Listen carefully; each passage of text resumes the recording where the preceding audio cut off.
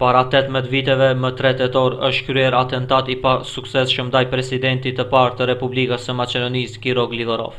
Ai e mbijetoi atentatin në vitin 1995 me lëndime të rënda në kokë. Në vendin e atentatit, jetën e humbi shoferi i tij Aleksandar Spirovski, ndërsa është lënduar truproja e Gligorovit Ilqo Teovski.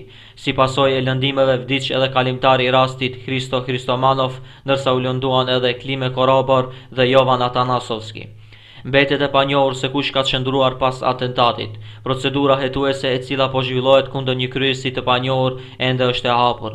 Hetimi konfirmoi se atentati ka qenë mirë i përgatitur dhe organizuar dhe se vetëm rrethanë fati është që presidenti Gligorov e mbijetoi atentatin. Sulmi është kryer me automobil bombë më tre nëntor të vitit një mijë e nëntëqind e nëntëdhjetë e pesë në orën nëntë e pesëdhjetë në rrugën para hotelit Bristol në Shkup, kur Gligorovi me automjetin zyrtar lëvizte nga rezidenca e tij në vendin e punës në Kuvendin e Republikës së Maqedonisë.